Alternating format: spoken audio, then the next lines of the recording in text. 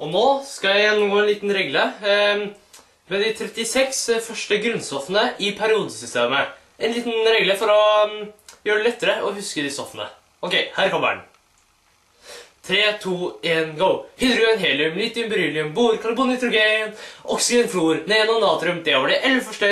Magnesium, aluminium, silisium, fosfor, svovel, klor, argon, kalium, kalsium, skandium, titan, vanadium, kromagan og jern, kobolt, nikkel, kobber, sink, kalium, germanium, arsen, selen, og brom og krypton.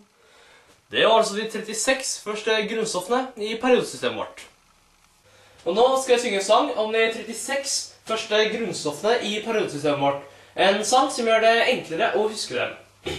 Den går som dette. 3, 2, 1, go! Hydrogen, helium, litium, beryllium, bor, karbon, nitrogen, oksygen, fluor, neon og natrium. Det var det 11 første.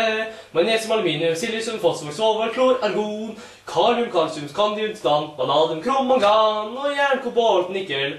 Kobber, sink, kalium, germanium, arsen, selenium og brom og krypton.